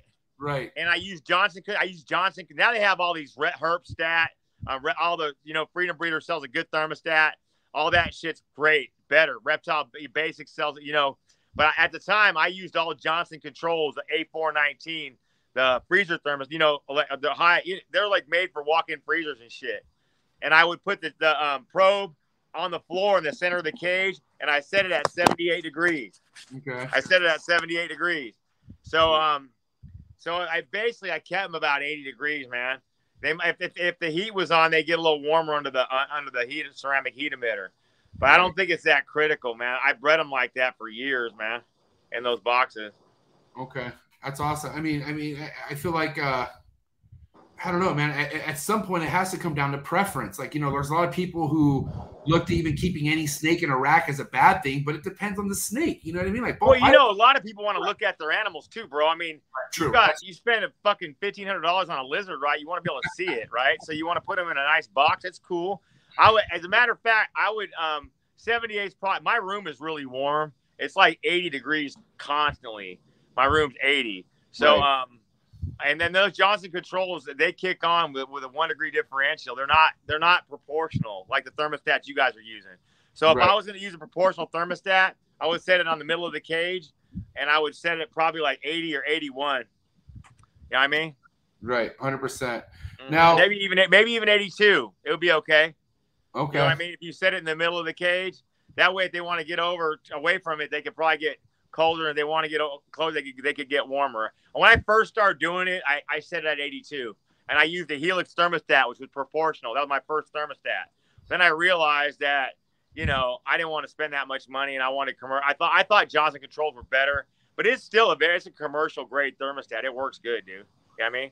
Now, I, I haven't asked you yet as far as when you approach a first time female into breeding. What, when, when is that like a, a, a go a go for you? Like when, when you want to let a girl go for her first time? I mean, usually about four years old. I bred them at three years old, depending on size. If they're big enough, you know what I mean. You can Right. breed them at three years. If you feed them a lot, dude, and they never have no problems, you can get them to breeding size at three years. They're born in January, so I would say that um, January, February, exasperatum are born. Horridum are usually born uh, a little later because they're usually late. I, mean, I usually get Horridum eggs in September. Alvarezi are usually born in May, June. They're different. I that, so that kind of messed up my whole cooling cycle because the Alvarezi had to put them in the same room, so I had to push everything, you know, ahead. But um, I, I, a female's good breeding size. I'd say if you feed them once a week and everything, you don't have no problems. I think four years old is good. You breed them too soon, they get egg bound and shit. I mean, now, now, you know, if it's one thing about this damn industry or this hobby, you know, everything I love the most is the most expensive. you know, like that's like that with everything, bro. Yeah. Right? I mean, But if you have good taste- if you- if- if you have good taste, right? So alvarezi completely different ball game when it comes to pricing than the exasperatums, correct? Yeah, so the first ones I sold for ten grand, um, and then I sold them. I sold. I thought I was going to breed them prolifically when I got twenty one, so I dropped it down to six thousand.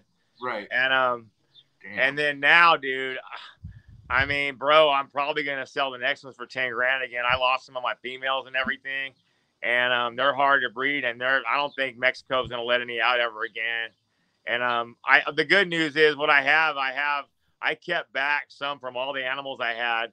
So I have like um I have like see I brought in originally I had 7.6. So I had six different females that I bred to and seven different males that were all unrelated that I started with. You know I mean? wow. And they're all Okay. all my adults are all like no patternless. They're all solid either either mahogany with a rust undertone or they're all black, solid black. And, and, and you don't find these things out there ever. Like I don't, I don't hardly I ever mean, see. you know, sometimes you can, people. So there were a bunch of guys that got busted. They were trying to. You could have bought them. You could have got them. They offered to me. Just some guy offered me. Fuck, I don't know. He had a bathtub full of me. I called me. He's like, "Hey, I'll give you all these for." I forget, like fifteen hundred each or something. I'm like, "Yeah, no thanks, bro. I'm Yeah. I'm straight, dude." And I, I think that dude's like in like went to prison or something. People got yeah. yeah, Yeah. nah. That's a I good mean- point. That's a good point, bro. Because there are scenarios in this in this fucking game where you get an opportunity and you're like, what? Like, and you got to be smart about that. You you know you don't you don't just buy shit because it's in a tub. You know what I mean? Like, Nah, I mean, I, I don't, you know, I, you know, I'm not gonna. I, I got CITES permits from Flora and Fauna in Mexico City with my name on them, and Right. Fish and Wildlife knows it because they cleared that shit, so they know all my shit's legal. All my shit's legit. You know what I mean? So 100%. Mhm. Now, if it's, uh, I'm just curious, uh, Steve, what what the overall game plan is for you with the these lines of exasperatums. I mean, I care about the other stuff, but I have some of your exasperatums, so that's why I'm so curious on like, you know, what's the overall goal with these lines that you're that you're producing? I mean, dude, I like to, I like to produce almost all yellow lizard one day. We'll see. so that's what the that's the game plan. is I mean, make- I don't know. They, I think the more color, the better, right? Yeah, and, and I'm curious because you even had some that like look high purple, and what's what's The that? pur- on the babies, all the purple turns yellow later. Got it. doesn't Okay. stay purple. I So do have pur- I do have a hypo. I have I had two hypos I've got I produced twice. right. And um and they never bred for me. I still got one of them. And he's got some purple in him still. And he's like a whitewash color. If you come see me, I'll be at the um I'll be at the promote the reptile super show at Anaheim. Sick. And um, we'll be at um, I, there's a show in Sacramento too in Roseville. We'll be there in June, but we'll be at the July um 9th and 10th uh, Rami Super Show, man. I'll be so there. if you want to come, hold you, you come down and see him. Come see me. You'll be there. Will you be there or no? Yeah, bro, hundred percent. I, I hopefully you can make it to my my event in San Diego. I have that that big event happening Thursday night, the week of Anaheim. Oh, yeah, if I uh, well, I, got the baby. I would, bro. But I got the baby, and I I'm going through some other nonsense I told you about, right? Oh, right, right, right. I feel you. Okay, no worries. No, no, but let me ask you this: since we're talking about shows, uh, Steve, I mean, what's your overall like scheduling for shows? Do you only do the ones in Cali? Do I, I I do. I only do. I do Rami Super shows, man. I do the one in Pomona. I do the one in Ana, and, and Anaheim, and then um, I probably will do Sacramento if they have it this year because it's local. And then this guy Reptilian Nation, he had one in Roseville. I went because it's like in my backyard, right? That dude was hella. He treated me really good. He was nice. It was a nice place, so I'll probably do that. You know what I mean? But I'll be traveling and stuff. I sell most of my stuff online. You know, people call me. Right I mean- on. Now I, I have I have a I have a wrap up question before we get into the hot seat questions here, Steve. Um, and, and I'm curious. You know, a lot of people that are going to listen to this episode, you know, there's already people who want beaded lizards. I can tell you that. A lot of people, uh, are, you know, I- when I when I show yours off of my stories, everyone's asking, "Where'd you get that? Where'd you get that?" Right. So for anyone out there who stumbles across their first beaded or is very passionate about getting a project started, I want to I want to hear from you what your your one on ones are, what your opinion is on approaching a, a project such the beadeds or even the gilas, like all together. Well, um, what, what do you mean by that? I, I, I don't understand the question.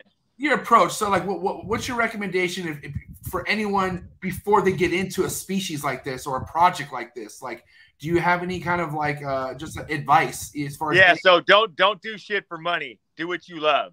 Period.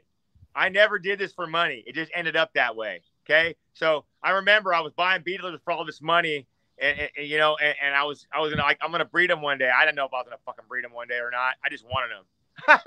Right? Yeah, it just happened. do what you love. If you do something for a dollar, man, you ain't gonna do good, man. You gotta do because you love it. Yeah, hundred. If you don't love it, you ain't, you're gonna lose interest, not have no time. And, and also, I, me and my wife breed heloderma lizards and, and ornate diamondback terrapins and, and mangrove diamondback terrapins. And um, because I've always loved ornate diamondback terrapins, man.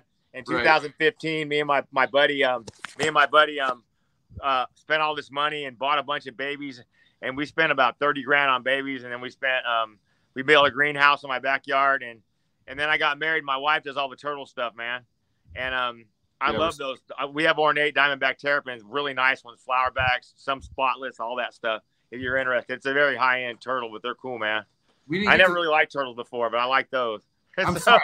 Sorry, hold on. Let's talk a little bit more about the turtles. We didn't even get into that. I want to talk a little bit more about what what your uh, what these projects are. I want to actually show one on your Instagram here. Is this one of them?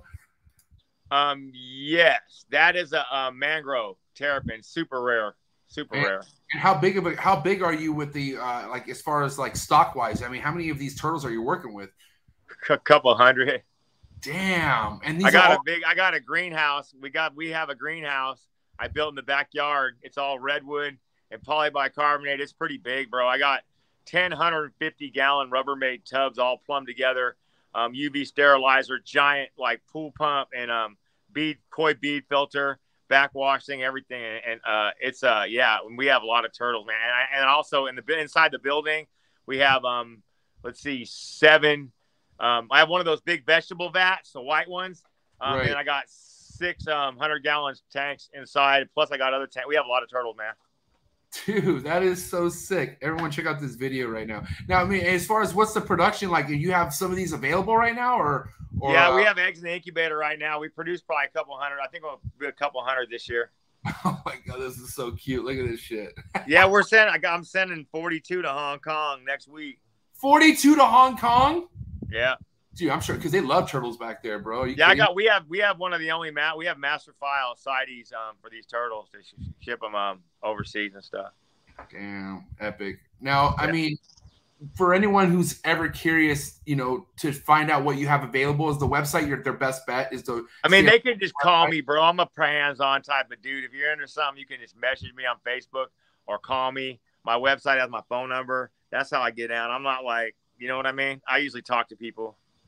Right? Okay, I'm pretty reachable, bro. I mean, you know, you can talk to me. I'm not, I'm not like one of those dudes. I think I've, I bred reptiles. I cured cancer. I mean, I, I breed reptiles, man. It's not a big fucking deal, you know. no, You know what I'm saying?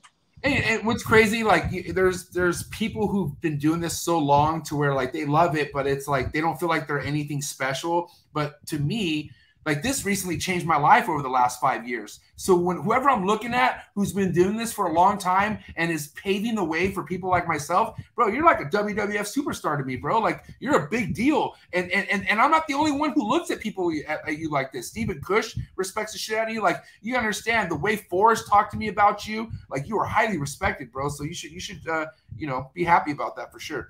Yeah, thank you, man. Forrest was my friend too, man. I, uh, you know, I was really sad that uh that, that we lost him. It, it was hard, yeah. All right, listen, I I I, uh, I normally don't let people tell me what to ask, but this is a very highly requested question. It's related to the Herp Nation magazine. Are you familiar about that? Uh, what? If that yes. doesn't, doesn't publish anymore or something like that, or or, or what's yeah, it's on? out of print. It was out of print the year they made it. But what about it? I don't know. People are, I guess there's articles or something like that that they're looking like Venom articles and they just can't find the articles no more and they're curious. I guess they're they're they're bent about it apparently. I don't I don't know. I, I don't know. I might so maybe I'll try to dig that magazine up and if I can find it. Um, okay. yeah, that guy he went out he he was a, a guy who had a great idea and he did it for a while and then it went out of business and all the copies were sold. So wow. crazy. I might have I might have one somewhere if I can look. You know what I mean? It's from a it's from a past where it wasn't digital. It's not like on the internet, right? So. Yeah, you know what, man? I'm, I mean, I may I'm gonna write something again. I mean, my, I got a brand new baby. I was blessed. Me and my wife were blessed. I had a brand new baby boy born. He'll be nine months on the 27th of this month. So, yeah, yeah, So, I mean, I'm pretty busy, man, now. But I mean, eventually, I'm gonna probably write a book on the captive propagation and husbandry of helodermatid lizards. I would think. That would be sick, bro. I mean, obviously, yeah. you, you have the knowledge and have enough to, to, to, put in a book. So fuck it. Why not? You know, when you have time, do it. Yeah. Yes, sir. Yes, sir. Awesome. Well, you know, every I got to keep on doing that. You know, I told you, like I, I shared, I was I'm a recovered drug addict and alcoholic. So um, I got to spend my time helping people that need help, man. Just like this man helped me. You understand? Hundred percent, bro. And talked about that. That's Fred. I mean, I, I, won't forget our conversations, and obviously, I won't forget this episode. But everything that you, eh, I'm not the only one who feels the passion behind your talking. A lot of people in the comments are super inspired off this episode. So I got to say, this is this has been one of the one of the best episodes I've had on a Sunday. I'll tell you that right now. Hey, can I can I close with this? Listen, man, there might come a time when we all got to pool together, man, and put our money together and everything and fight I mean, if the government tried to ban us from doing our business, we're going to have to, just like I fought the state of California. I told Patrick one day we might end up on the doorstep of the Supreme Court. You know what I'm saying? Hundred percent. Gotta, I mean, USARK is good too, but if, if something happens and they don't, and something they try to pass one of these like unjust laws that's totally unconstitutional, we're gonna have to stand up together, man. Because if we don't, if we don't, if we don't, you have to make. If you have in this world, these days, you got to make people give you do what's right sometimes. Because if, if you don't and you just let them just systematically take away our rights, man, we're gonna be fucked, man. There's there's people for the most part who let other people walk all over them and they don't do nothing about it. And and that's that's what you can't be in this industry. You have to fucking step up and do what's right because if not, they will do the worst. You know what I'm saying? So it, it, it, you're right. I'm glad you closed with that because that's very important. Like your whole story on you fucking going and, and, and, and, fighting for that permit and saying, no, fuck this shit. I, you know, you denied me for, for no reason. Like there's no, no legit reason to deny my permit. And you fucking fought for that shit. And look, you, you won. So, well, I mean, let's face it, dude, they're passing these laws. There's no, there's no real basis for these laws. They're fear based and they're somebody's agenda because they don't want people making money off of animals. Well, it doesn't matter what they want.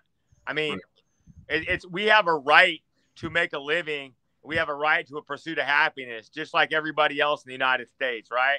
Exactly. When I was a little boy, I'm older than you, brother. When I was a little boy, they taught me about liberty and justice for all, man, and, and they need to give us that. Yeah, I, I think well, I was. A lot of people, a lot of people died for the freedoms we enjoyed here. We cannot allow them to take them away from us. I was I was raised with that mentality, dude. My dad, my I was raised right. I was in that that cloth, that generation who understood what this country's all about, what it stands for. I, I'm I'm totally with you on that, bro. And uh, you know what I mean. And, and, it's a different day and age. You know what I mean. A lot of people that, that skips through everyone's head nowadays. Everyone's too worried about the most stupidest shit. But uh, fucking amazing episode, Steve. Listen, we have these hot tea questions before you get out of here. Okay, so let me hit, let me hit with these hot tea questions. Um, I don't need an explanation. You know, I, I, just give me the answer as quick as you can. You ready for these? Yeah.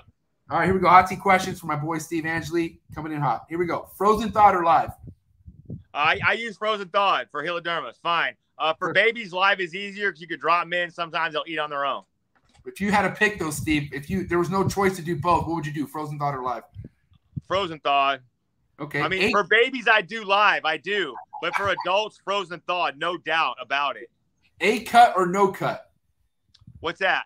Would you cut an egg ever, or would you No never? eggs, dude. Eggs is bullshit. Bob Applegate told me in 1998, don't feed them eggs. They're not good for them. They like eggs. I like. I I'm like talking about.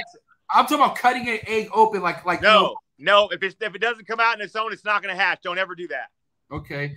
Um, favorite species of beaded lizard? Mm, I don't know, dude. I'm gonna. I don't know, man. Probably. Uh, I mean, probably Alvarezi or exasperatum. Okay. Uh, yay imports or boo imports? What do you mean? Would you, if if if the law landed on you to say you are allowed to import reptiles anywhere or no imports, period, what would you decide on? I would say freedom, man. Imports. All right, one reptile you would import today. If you, if you could reptile, if you could import any reptile anywhere in the world, what reptile would you import today? I mean, I already got what I wanted, dude. Alvarezi. I already got it. So would you take another one if you could? Like if someone I had mean, I, one? I don't really. I mean, there for me, for what I for myself, man. I mean, that was that was a holy grail for me, bro, and I got it. Right. Okay. Respect. What's one? What's one reptile nobody should ever import ever again? Just leave it the fuck alone. I mean, a Tuatara. Okay. okay. Yay sports or boo sports? Man, I love fucking sport. I love the Raiders. I love the Yeah, fucking baby, A's. Hey, Raiders! bro. Hey, I'm from the fucking town, bro. Town business. I'm from Town Oakland, bro. I love the Raiders, the A's, and the Warriors are gonna win the championship too. I'm from the town, baby. Let's go. Rat Bay. Let's go. hey, but I like I like the Lakers too. I used to love Kobe, and and and, the, and I love I grew up loving the Showtime Lakers, man. The favorite. So, what's your favorite sport? If you could pick one favorite sport, what would it be? Football, Raiders, bro, all day, homie. Favorite Raider season of all time. What was your favorite Raider season of all time? I mean, 1976. I was a little boy, dude, when they beat the Vikings in the Super Bowl. That was when John Madden got carried off the field, man. Wow, you were there for that? Bro, I'm 55 years old, man. Oh my god, that's epic. Okay, steak or fish? What kind of fish? Like, it, like if do, do you rather eat steak? Or you rather eat fish? Whatever. fish. Lobster, bro. Lobster, homie. Yeah. Okay. Um, I I think I know the answer, but I'm gonna ask you anyways. Yay alcohol or boo alcohol? Man, hey, bruh. If you have, if you need some outside thing to make you enjoy this life, you ain't doing it right. Damn. Amen. Uh, Van Halen or Sammy Hagar? Van Halen, For sure. All right. Little word association. First thing to come to mind: milk. babies, I knew that was coming. Substrate. Aspen. First time beaded lizard owner. It's the coolest reptile you'll ever own. It's like a baby dinosaur. Instagram trolls. What's that? Instagram trolls. I, I don't like trolls, bro. Respect. okay, if you had to get rid of one platform forever, Steve, and I mean forever, never coming back, are you going to get rid of Facebook or are you going to get rid of Instagram? Which one has to go? Damn, dude. I think Facebook caused a lot of problems, man. I mean, Wow. I mean, I think they're one and the same. How can you pick one? I mean, I feel like Instagram's the future and, and for sales and all that personally, but also Facebook is also loyal. I mean, a lot of people have been loyal to Facebook for so many years, but I I mean, mean, I, it- I think Facebook probably caused a lot of problems, bro. right. I agree. people, man. I, I if I didn't have my business, I, I don't know. I, I you notice my Facebook posts are all about either my family, God, or my business. That's it. I don't talk Right. about anything else on there. Right. There you go. If it's not and if it's not positive and bringing hope and light to this world, you won't see it on my Facebook page. Now I might I might make a vulgar joke once in a while. I almost I almost posted. I took a picture on ESPN. It said World Cornholing Championship. I almost posted it on my Facebook the hands up. I almost couldn't help myself. It's just hilarious, dude. Oh, dude. That's too hilarious. hey, bro, I, I'm a I- I'm a disciple of the Christ. I'm not a fucking saint. Right. exactly. Hey Steve, we had we had well over 80 people at one point in this episode, all showing you love and support. What do you have to say to all your supporters out there? Everyone who fucking supports you. What do you have to say to them? I mean, I just want to thank everybody, man, who um, supports our business and supports the kind of life that I'm living today. Um, you know, uh, every every every single person out there can do what I did or do greater things. If you have a desire in your heart for something good, it's God's promise to you. It's already yours. You're just gonna have to walk the path to get it, man. And that's it. If you do that, and if you and if you're honest and you're right, it's impossible to fucking fail. You understand? Doesn't mean you won't. Here it is with me with the permit. I failed. Do it again. I failed. I did it again. I failed. I did it again. I finally I, I made it. Reggie yeah. Jackson struck out like more than almost anybody else, but you don't remember that. You remember nope. all the home runs he hit in the World Series, dude. All the bases he stole, everything. Yep. If you if you're not willing to fail, you'll never succeed. But failure is not lost. Right. Failure Failure is just another step. Hundred percent. Well, listen, I appreciate this episode. Well overdue, but we did it, man. Thank you so much, and it's a wrap for my man Steve Angeli from Steve Angeli Reptiles, ladies and gentlemen. Thank you. Hey, you're the man, Steve. And by the way, do not sell that uh exasperatum. I want it, that fifteen hundred dollar one. We'll talk. I'm not selling. Oh, the one I got. Yeah, I'll hold it. I got. I, I got a really right. nice one for you. Seriously. All right, we'll talk later. Thank you. Hey, enjoy the rest enjoy the rest of your night. Tell your wife I said thank you for allowing you to fucking do this and get it in because I know how hard it must be to have a newborn. But dude, keep killing it as a dad. Keep posting pictures of your baby boy because that's inspiring, man. Thank you so much. Thank Steve. you, man, and you keep doing what you're doing, man. I, I, I like your style, yo. All right. Thanks, Steve. We'll connect. have, a, have a good night, man. See you later. What a fucking OG. Woo! That guy was sick as fuck.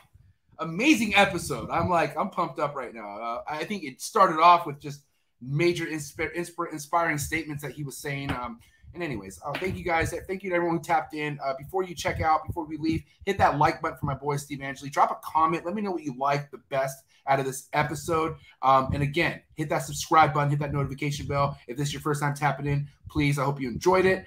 And uh, yeah, I hope you guys are ready for a big week. Uh, tomorrow night we have somebody who's been, I mean, highly requested to come on the show. I mean, I mean, yeah, he wants to come on, but other people have been asking me to bring this guy on. So I'm gonna bring him on uh, Monday, tomorrow, six o'clock Pacific Standard Time, with my boy. Um, oh my God, my Sebastian. Woo! Sebastian Walker in the building, going down here on Trap Talk for Trap Talks new breeder on the block series. So ball python breeders, be ready because this guy's killing it. He's tapped into some heavy breeders right now. And then Thursday night, it's going down the very first segment, the very first episode with the No Buddy Safe session. My boy Chris Eaton, Snakes and the Fat Man, Trap Talk with MJ collaboration going down. This will be a monthly thing. So just be ready for it. We are not fucking around. It's going to go down, baby. This Thursday night, 6 o'clock Pacific Standard Time. Set your reminders. It's going to go down. And again, shout out to everyone who came through for my boy, Steve Angeli. Shout out to Steve Angeli Reptiles. Again, this is going to be uh, something I cannot wait to rewatch. And uh, yeah, you guys, enjoy the rest of your night. My Patreon members, I will see you guys right now for our Trap Talk Zoom session. Enjoy the